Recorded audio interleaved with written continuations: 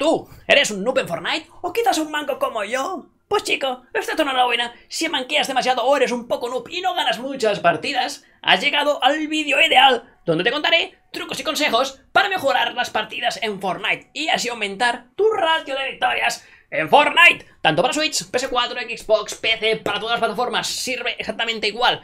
¿De acuerdo? Así que no me enrollo más. Por favor, Ray, no te enrolles más. Si eres pro, no te preocupes. Seguro que tienes a un amigo que sea un pelín manco. Por lo tanto, ya estás tardando en compartir este vídeo a ese noob para que aprenda y manque un poquito menos en Fortnite. Chicos, no me enrollo más. Ahora sí, fuertísimo like, suscríbete si todavía no lo estás y empezamos con los consejos y trucos para poder ganar más fácilmente en Fortnite. Antes de empezar, os recomiendo tener el mando configurado en modo constructor pro. Abajo en la descripción tenéis el link de cómo seguir paso a paso y configurar el mando en modo, como he dicho antes, en constructor pro. Que yo lo recomiendo mucho.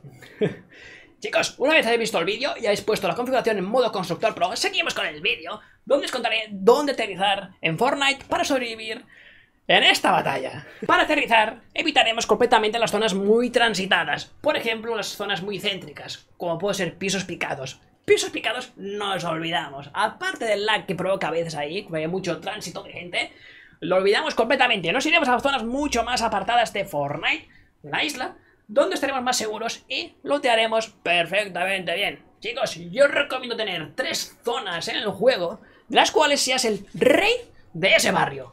¿De acuerdo? Has de ser el rey de ese barrio y saber dónde están todas y cada una de las ubicaciones de los cofres, del loot, e incluso saber por dónde escabullirte si viene algún enemigo, o ir a por él, ¿vale? Cómo rodearlo y machacarlo y matarlo. Porque es tu barrio. ¿vale? En tu barrio nadie te toca, nadie te puede robar nada. Así que chicos, haceros con tres barrios, tres zonas. Yo recomiendo personalmente Rivera Repipi, que seáis los amos en Rivera Repipi.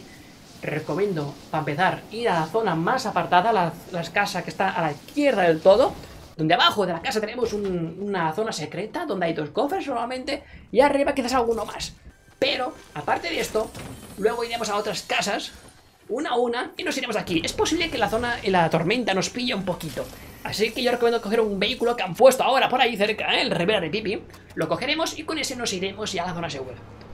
Otra zona más donde podemos aterrizar y estar muy seguros y lootear cómodamente es carretes. Carretes para mí es la mejor zona del juego para aterrizar y estar tranquilo. Es una zona muy despejada, ves que cae ahí, súper importante, ves que cae, y puedes ir a por él rápidamente y aniquilarlo, porque tú eres el rey de ese barrio, ¿vale? Tú y nadie más. Así que chicos, recomiendo tener de objetivo carretes también. Hay muchísimos cofres, pero un montonazo. Han puesto más, creo. O sea, te vas a hartar de abrir cofres ahí. Y te vas a equipar a full. Chicos, más zonas. Yo recomiendo también tener la zona de aterrizaje afortunado, que es muy bonita, eh, ya de paso.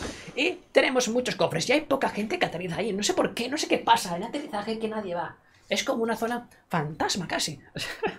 hay poca gente que vaya a aterrizar. Así que recomiendo tener ahí un punto donde tú sepas dónde está cada cosa, dónde están los cofres, y saquearlos siempre que podáis. Otro punto, también recomiendo mucho que hay mucho cofre, aunque no lo parezca, es, yo la llamo la vieja confiable, porque siempre que voy ahí ganamos la partida, casi, casi siempre. Así que recomiendo la vieja confiable, que es donde está la discoteca, que hay muchísimos cofres y viene poca gente. Y si viene gente, normalmente, como tú eres el rey del barrio, ese tío no sale vivo de ahí. Así que chicos, una vez tengáis las zonas que os más, más cómodamente os vayan para poder empezar la partida, una vez esto, empezamos a ver cómo manejamos todo para empezar a movernos en el mapa. Pero antes de empezar a movernos, yo os recomiendo tener la zona limpia. Si habéis visto a alguien que ha caído en vuestro barrio, tíos, sois los reyes del barrio. Nadie puede salir de ahí con vida sin vuestro permiso. Así que lo que haréis será, olvidaos de las armas, coged solo una arma que sea a corto a corta distancia o a media distancia más o menos e ir a por él. Me da igual, ir a por él a saco y matadlo. Es vuestro barrio, defender lo que es vuestro, ¿de acuerdo?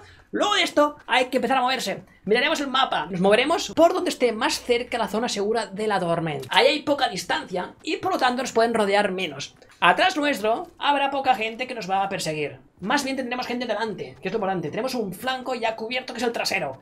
Trasero y lateral casi. Porque si tenéis mucha distancia entre la zona segura y la tormenta, solamente la gente empezará a rodearos y tendréis un poco de desventaja, sobre todo si os rodean más de un equipo o jugadores. saltar siempre, ¿vale? No os quedéis quietos, yo lo hago a veces, ¿eh? Pero no os quedéis quietos haciendo tonterías. Porque a la mínima os pegan un headshot o os disparan, os quitan media vida. Si os rushean, estáis muertísimos. Luego, la forma de eh, poner los objetos en la barra de abajo.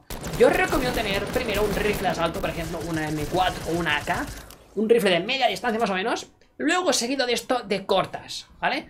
O una o dos cada uno a su gusto. Yo recomiendo tener dos. Primero el subfusil, que está súper cheta ahora mismo. Y otra arma a corta distancia como una escopeta. Para ir alternando. ¿Vale? Si os gasta la, la, munición de una arma, seguís con la otra de la escopeta. A esta altura de la partida es muy recomendable tener loot de consumo rápido. Por ejemplo, las mini pociones de escudo en vez de pociones grandes de escudo o en vez de el bidón de plasma. No os, os ocurra llevar el bidón de plasma al final de la partida, os, va, os van a matar por culpa del bidón de plasma. Tarda muchísimo en consumir, es muy bueno, pero tarda muchísimo en consumir, así que no lo recomiendo para nada. En teamfights, si juegas en equipo quizás puede, pero no es muy aconsejable, ¿de acuerdo? Así que cuidaos de cosas que tarden mucho en consumirse, y coged solo las cositas que sean rapidísimas. Aunque cure menos, será mucho más rápido y podréis moveros más cómodamente por el mapa si alguien os ataca. La zona segura está muy reducida, por lo tanto es muy probable que algún jugador os quiera matar.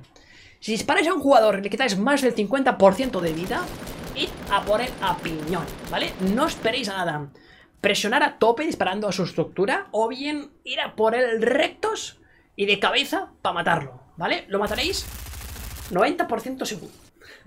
No os preocupéis, ir a por él lo mataréis seguro. Luego, si veis más de un jugador y están peleando entre ellos, también, no te esperes. Ves a por ellos dos, solamente al llegar ya habrá muerto uno de los dos y el otro estará muy tocado. Eso es muy sucio, es muy sucio. Ya os he dicho que a lo mejor al final del vídeo os tenéis que duchar, porque estáis impregnados de caca, de lo sucio que vais a jugar, pero al final es un juego y hay que ganar sea como sea.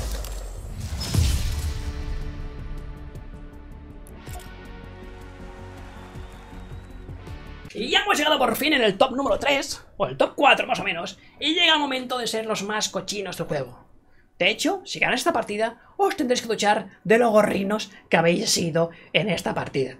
Chicos, primero de todo, localizamos a los jugadores. Somos tú contra 3 o 2, ¿vale? Los localizamos, no aconsejo construir. Si eres pro, obviamente sí, ¿vale? Pero si no eres pro como yo, yo no construyo nunca casi. Al final del vídeo, al final de la partida, nunca construyo.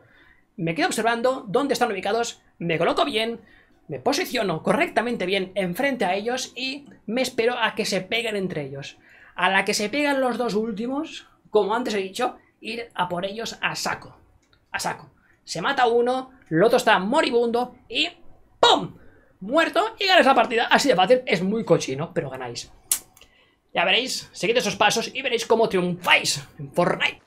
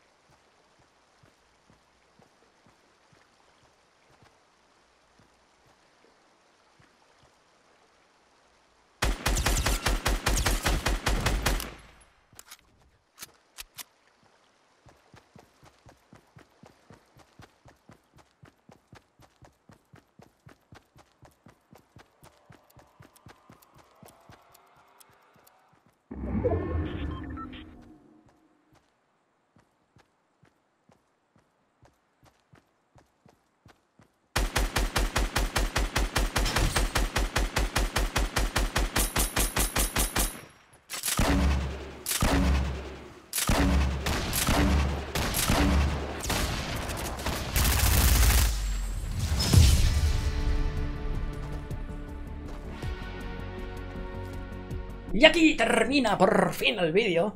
No he hablado demasiado de las armas, quizás lo haga en otro vídeo, así que si queréis, dale un fuerte like, dejadlo abajo en los comentarios y quizás haga otro vídeo explicando las mejores armas en Fortnite. Y ya está chicos, ya está. Vete ya Ray, nos vamos ya. Fuertísimo like a este vídeo, suscribiros abajo si no lo estáis todavía.